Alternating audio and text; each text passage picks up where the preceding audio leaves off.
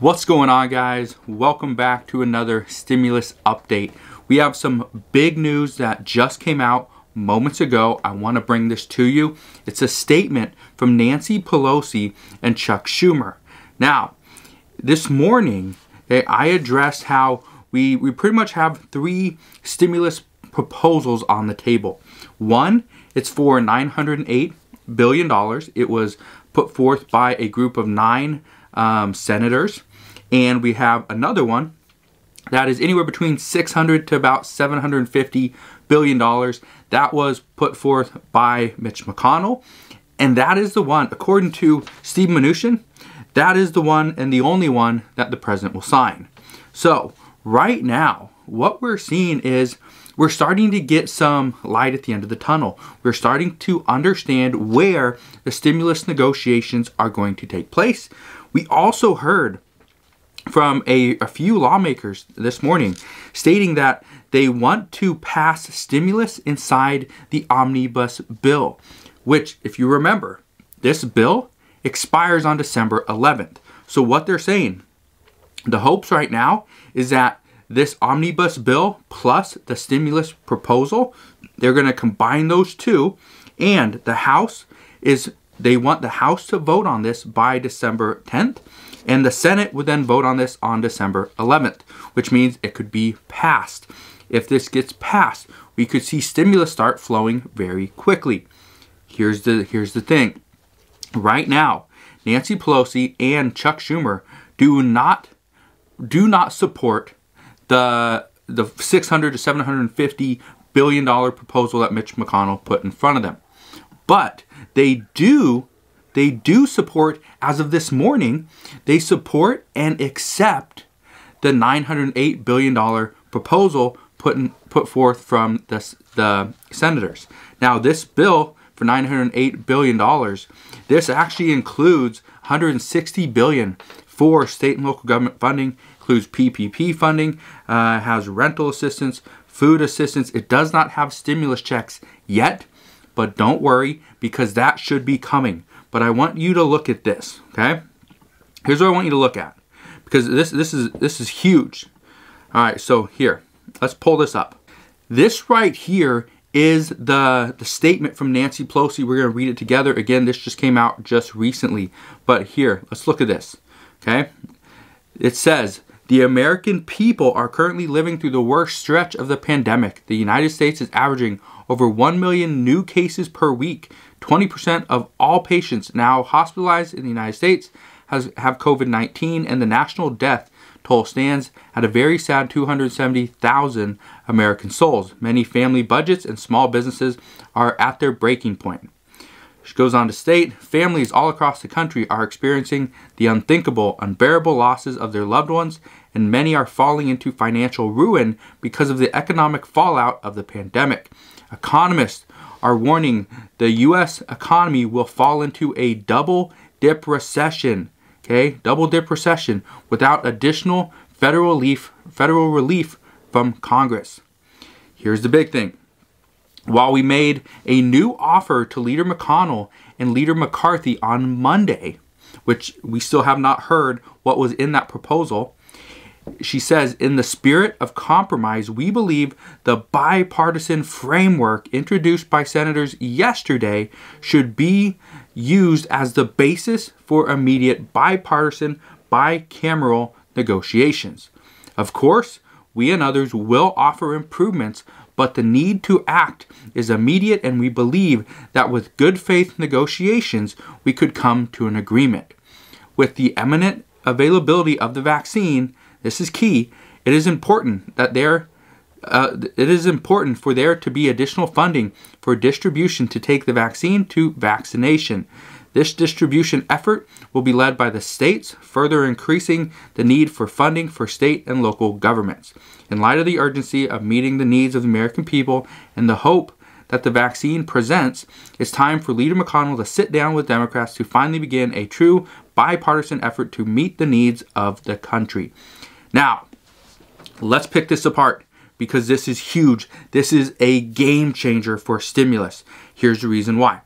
What you need to remember in that $908 billion stimulus uh, proposal from the, the Senate, they're the senators, there's no stimulus checks. But I believe that there will be stimulus checks. Nancy Pelosi says right here that, of course, we and others will offer improvement, but the need to act is immediate.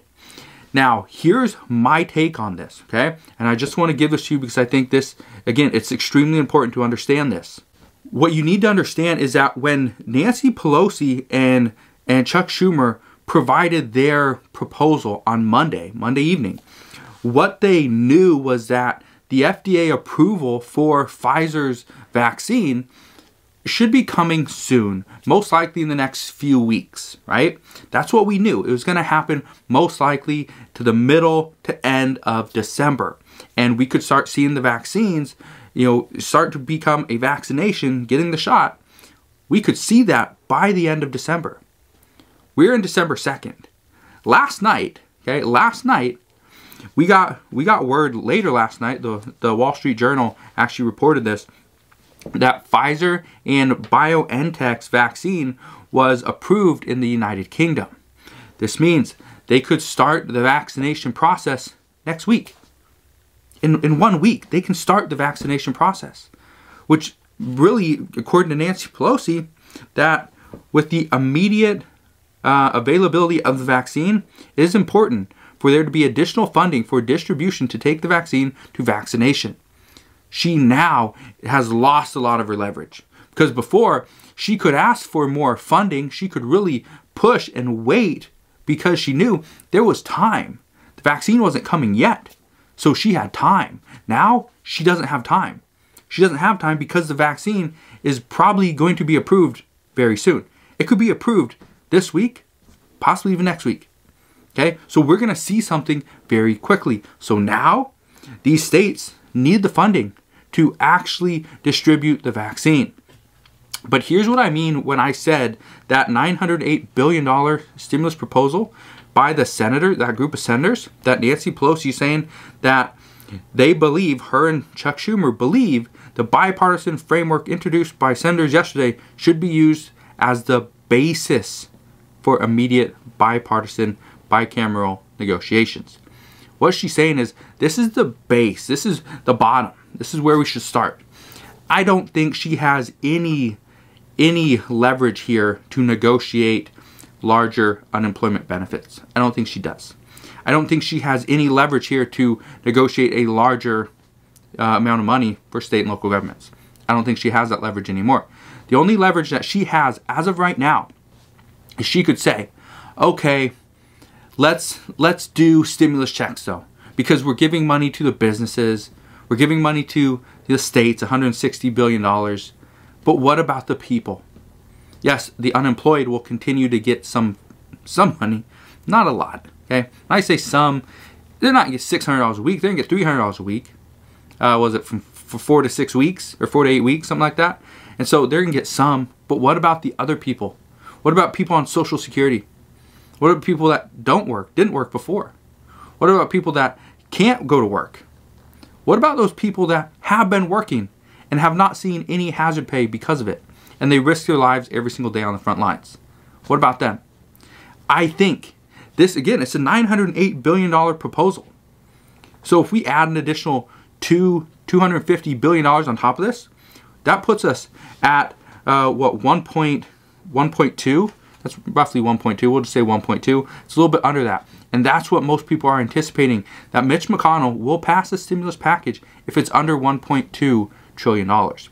And that's essentially what this will be. It'll actually be like 1.15 um, after it's all said and done. Now, here's one of the other things you need to understand. That stimulus checks, according to Larry Kudlow this morning, he says stimulus checks are a priority for the White House. Well, why aren't they in the bill that Mitch McConnell just, just proposed? What reports are stating right now is that the reason why Mitch McConnell left out so many things for uh, in this proposal was because he knew what was in that the senator's proposal. That 908 billion dollar proposal, they're saying he knew what was in it.